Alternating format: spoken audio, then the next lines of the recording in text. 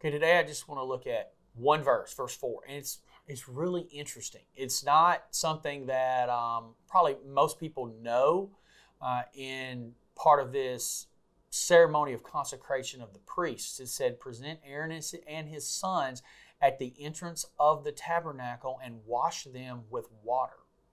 Now, this wasn't just a ceremony for anyone in Israel. There were special consecration ceremonies available. Think about the Nazarite vow that's talked about in Numbers chapter 6. And uh, there's several places in the Bible we see this Nazarite vow. Two of the most famous um, being Samson and being John the Baptist. I think John the Baptist took a lifelong Nazarite vow as Samson did.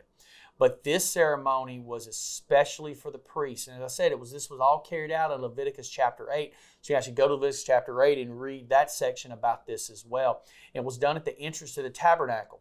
So this process didn't take place inside, it happened outside the door. Uh, because entering in was entering into the presence of God. Remember, as we talked about the tabernacle, um, it it mimicked the temple in heaven.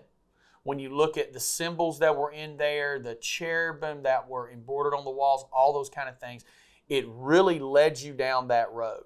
And so it says, and wash them with water. So this began with cleansing, right? Now, Aaron and his sons, I don't believe washed themselves. I believe they received this washing. It really comes across to me that this was something that Moses did. And this had to be a humbling thing. You know, they they had to be humble humble in this situation. And it appears this was a one-time thing. Because after this, there is descriptions and talk of how they would wash their hands. There was a basin that they would wash their hands and would even wash their feet before they entered the tabernacle, but would not wash the entire body. And you know, this is interesting because this idea of washing, eh, that's the imagery that is given of us in the New Testament being washed by the blood of Jesus and by the work of the Holy Spirit. And this is all accomplished by the death of Jesus for us, right?